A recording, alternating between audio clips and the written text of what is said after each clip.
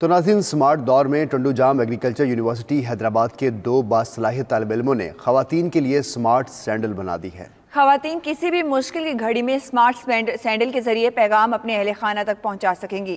Report کر رہے ہیں حیدرآباد سے محمد وکاس حیدرآباد کے طالب علموں میں صلاحیت کی کوئی کمی نہیں ہے۔ ٹنڈو جام زرعی یونیورسٹی سے تعلق رکھنے والے دو طالب علموں آبدہ لورانی اور راہیل سرور نے خواتین کو درپیش مسائل کو مد نظر رکھتے ہوئے اسمارٹ سینڈل بنائی ہے جس کے ذریعے خواتین اغوا کی کوشش یا کسی بھی مشکل صورتحال میں اپنے اہل خانہ تک پیغام پہنچا سکیں گی۔ ان کیس اگر کوئی بھی کڈنیپنگ وغیرہ ہوتی ہے اب کس موومنٹ سے آپ کو ٹرانسفر کیا جا رہا ہے تو اس کی لوکیشن پہ آپ ٹوئنٹی فور آور اویلیبل ہوگی۔